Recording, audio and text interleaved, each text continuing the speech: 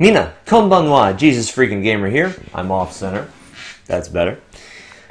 This is Joshua chapter 6 that I read today, and normally I'd be talking about, or you would think I would be talking about, the great victory that God gives to his people, how Joshua and the Israelites marched around Jericho seven times, wall collapsed, and boom, they invaded, wiped out everyone, victory was theirs, and they're in good shape.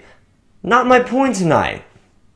My point tonight is something a little bit off the beaten path. And I like to be a little bit off the beaten path because, let's face it, even though the Bible's awesome and every story is great, some stories we've heard a hundred times. And I don't apologize for saying that. We need something new every now and then, so I'm going to focus on something a little bit different. Joshua, still chapter 6, going down and starting at verse 20. So the people shouted when the priests blew the trumpets, and it happened when the people heard the sound of the trumpet, and the people shouted with a great shout, that the wall fell down flat. Then the people went up into the city, every man straight before him, and they took the city. So the wall falls down flat after the people shout. Boom, walls down. That's it. Invasion, ho! Let's go back to Joshua chapter 2, verse 15. We were talking about Rahab a few days ago and how Rahab was supposed to be spared, how she's supposed to live. And sure enough, um, going back to chapter 6 for just a second, Verse 22 But Joshua had said to the two men who had spied out the country, Go into the harlot's house, and from there bring out the woman and all that she has, as you swore to her. And the young men who had been spies went in and brought out Rahab, her father, her mother, her brothers, and all that she had. So they brought out all her relatives and left them outside the camp of Israel. Boom, they're safe, they're alive, so they kept their word. And if they hadn't, it would be really hard for Rahab to be in the genealogy of Jesus. But in Joshua chapter 2, verse 15, we read, Then she, that's Rahab, let them down by a rope through the window, for her house was on the city wall. She dwelt on the wall, and she was in her house. I just read it. They were in her house. Not her father's house, not her mother's house, her house. So when the wall collapsed, and I honestly never really saw it until just today, obviously not the whole wall collapsed.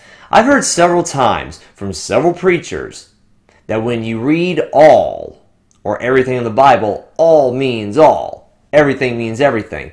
There's no exception to that. Yes, there is. Yes, there is. Rahab could not have lived if the entire wall had just come down. Then her house would have collapsed, and she and her family would have died part of that wall was left standing because God honored his word. Or I guess I could say God honored the Israelites' word. God himself spared her when he collapsed the walls of Jericho.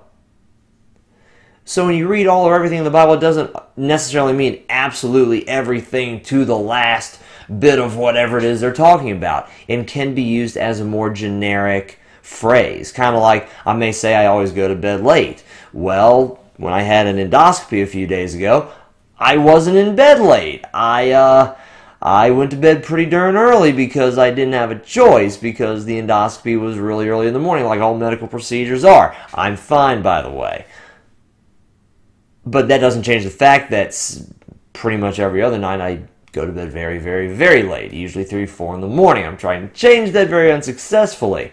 But just like in real life, we use phrases where all and everything doesn't mean literally every single time. Same thing in the Bible. You read all, you read everything. It doesn't mean every single time.